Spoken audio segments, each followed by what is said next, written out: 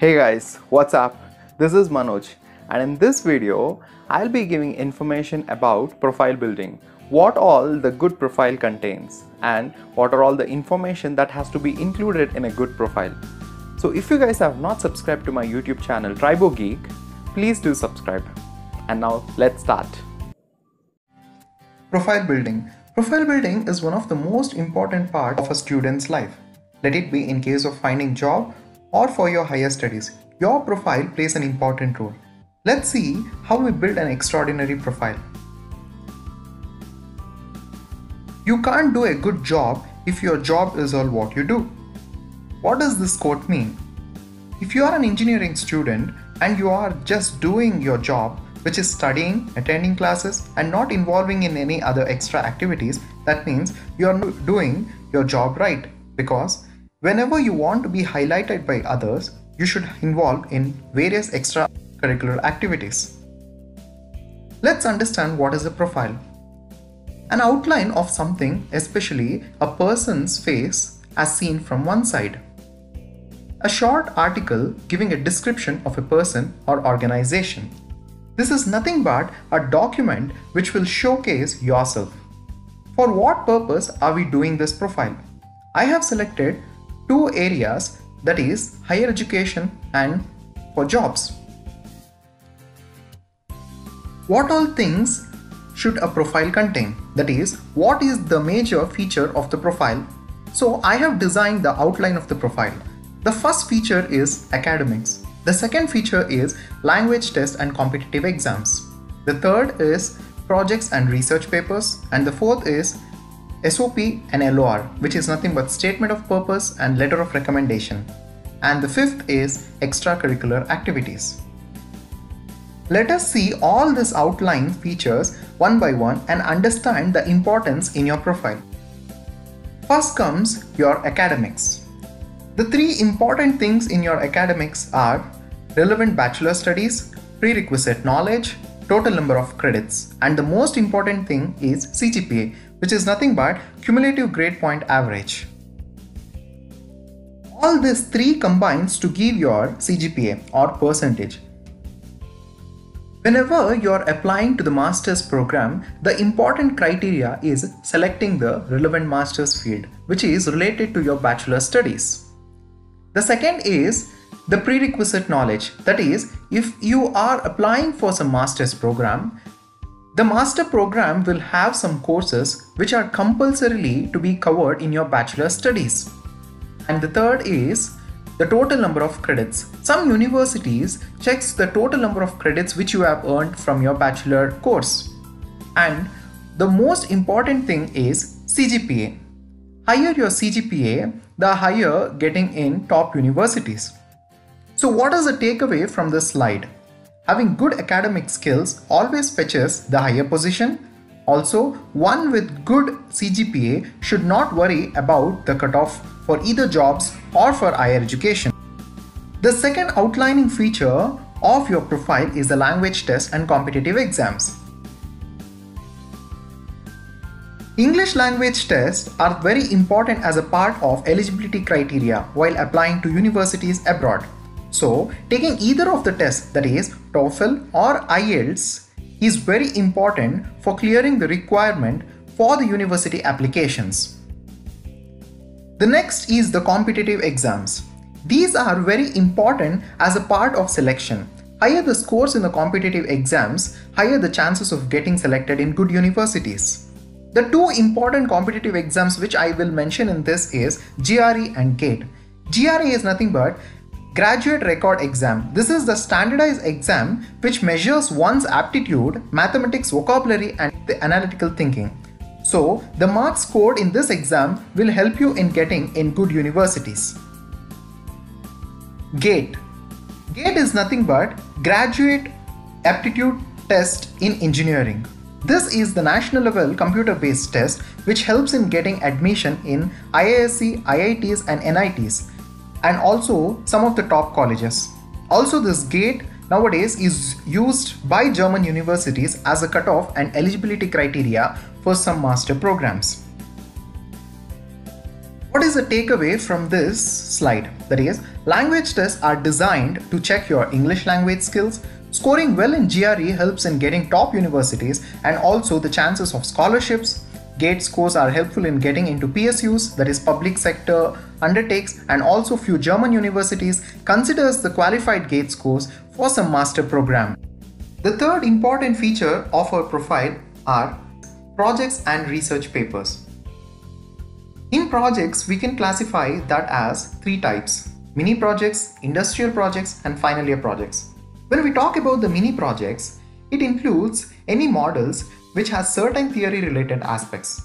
In computer science, it may be any app development. If it is in mechanical engineering, it may be development of some models of engines, turbines, etc. Industrial projects are nothing but our contribution or our role in any industrial ongoing projects and final year project is our major thesis which we submit in final year of our engineering and this project only determines our interest, teamwork, contribution and innovation of new ideas. If this project is in the same field as whatever the master program we have applied then it has a huge advantage. Research papers. These are the value additions to a profile of a very good candidate. These papers determines your interest and hunger for learning. I have mentioned three types of papers which one can do in his or her engineering term. Conference papers, journal papers and reference papers. What are conference papers? If we attend a conference and present any of our research work in that and that gets published in any conference proceedings, they are said to be conference papers. If we have published our research work in any journals such as Elsevier, Springer, IEEE, which are Scopus indexed and those are said to be journal papers. And reference papers are nothing but the summarization of some topic and compiling it as one paper. So this is nothing but a reference paper. What is the takeaway from the slide? Projects directs us in the right way to select the desired field of our master studies and also they set a strong base for the jobs we apply. Research papers shows our interest and depth knowledge about the subject and our area of expertise. The third and the important feature of a profile is SOPs and LOR. SOP is nothing but a statement of purpose. In this, we have to understand why should we write a statement of purpose. This is also a motivation letter which we write as a part of our application procedure when we apply to some master's program. What should an SOP include? Should, we should write an essay why we have selected that particular university. What is the purpose of doing masters and also SOP should signify our goals to achieve. Letter of recommendation. Letter of recommendation is simply a letter which is given by your professor or research guide which signifies your character, capabilities and abilities to take the role in any of the project, research or your uh, extracurricular activities. The main takeaway from this slide is SOPs and LORs plays an important role in getting admissions at the top universities. These documents determines your interest and reason for applying to the master's program. The fifth feature of a profile building is extracurricular activities. These include your internships, competitions, lectures and workshops, social and cultural activities which you have undergone. Your internships plays an important role in a profile which determines the real-term experience in your desired field. Competitions. Participating in a competition plays an important role in order to identify your leadership qualities and team spirit. Lectures and workshops. Attending lectures and workshops are very important to showcase your knowledge gathering ability. Social activities. Your socio activity is a special kind of and very important part of your profile which shows your ability and interest in serving your society. The main takeaway from the slide is these activities shows your involvement in different fields which is very important and it is a part of a strong profile. Work experience. I would not say lacking this feature would affect your profile more because if you are applying to the masters as soon as you finish your undergraduate then there will be no work experience. However, work experience is one of the additional point which can boost your profile and chances of selection. Also, the work experience should be relevant to the master's field which you are applying. Having all the above 5 strong points, that is the 5 strong features in your profile may nullify if you do not have a work experience. The last part of profile building is showcasing the profile.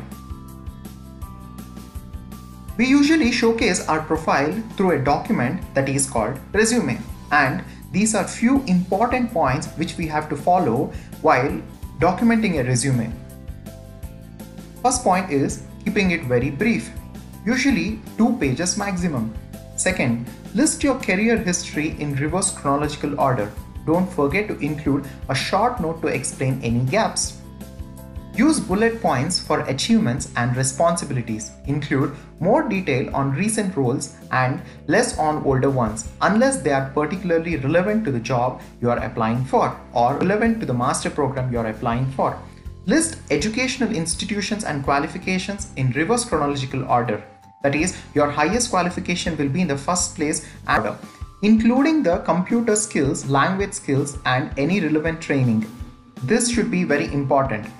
Keep your hobbies, intersections short, and also you can add your LinkedIn profile details.